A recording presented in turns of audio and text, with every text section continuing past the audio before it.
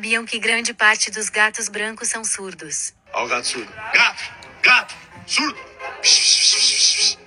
Ó, rapaziada, peguei um grilo aqui, mas o assunto é o gato. Vocês sabiam que todo gato que é branco, totalmente branco, com o olho todo azul, 80% de chance dele serem surdo.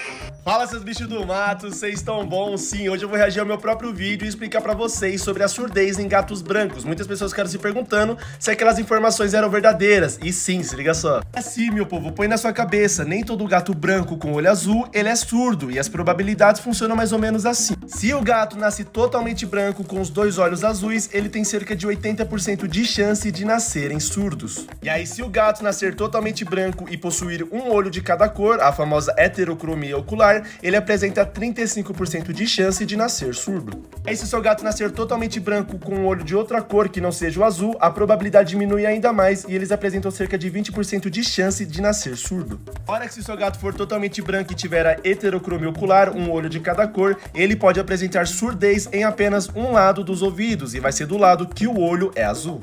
Agora que vocês já entenderam isso, as probabilidades, eu vou explicar para vocês o porquê que tudo isso acontece. Isso tudo só acontece por conta de um único gene na fase embrionária, o famoso gene W, também chamado de gene aniquilador. E esse gene W, ele é responsável pelo seu gato ser branco. Então, se você tem um gato branco, é porque ele carrega esse gene W. Mas aí vamos entender agora o que, que esse gene W ele faz. A na fase embrionária começa a ter o crescimento de camadas que formam o tubo neural, e esse tubo neural apresenta a crista neural.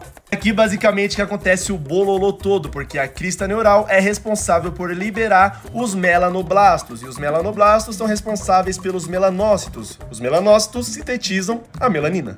Como vocês sabem, a melanina é uma proteína responsável por dar pigmentação para nossa pele, para os nossos olhos, para o nosso cabelo e etc. Aí raciocina comigo, se o gato é branco, tem olhos azuis, é porque tem a falta de melanina. Mas por que que tem a falta de melanina? Justamente por conta do danado do gene W. Ele é o responsável por tudo. Simplesmente na hora do transporte, quando tá tudo acontecendo lá na fase embrionária, esse gene W pode chegar ali do nada e vai falar assim, ó, acabou, o pai tá aqui, não vai acontecer mais nada. Realmente não mais nada, porque os melanoblastos não conseguem mais fazer o transporte e chegar até a pele para poder dar pigmentação aos pelos, ou chegar até os olhos e dar pigmentação aos olhos. Aí com o gene W interferindo basicamente tudo, o seu gato nasce com a pelagem branca e com os olhos azuis. Se ele nasceu apenas com o olho azul, é porque conseguiu chegar melanoblasto aqui. O gene W não conseguiu interferir em tudo. Mas infelizmente o melanoblasto não é só responsável pela pigmentação. O melanoblasto também é responsável pela construção do canal auditivo. E é aí que tudo pega. Se você tem um gato totalmente branco com os olhos azuis, a probabilidade dele ser surdo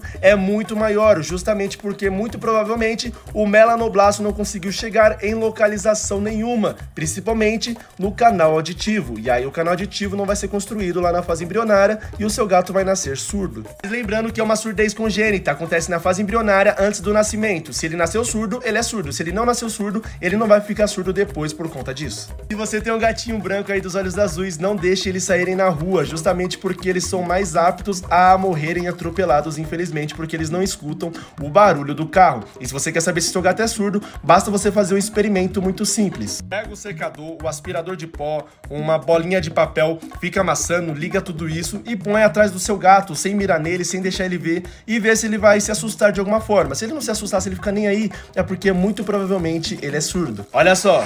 Gato. Fiz o teste com o meu gato e basicamente ele já me respondeu na hora. Perceba bem a orelha dele. São muito sensíveis, então se o seu gato está escutando, ele vai mexer um pouco a orelha. Ó, tá vendo como fica mexendo? É porque ele tá me ouvindo. Mesmo que ele não queira olhar para mim, ele tá ouvindo.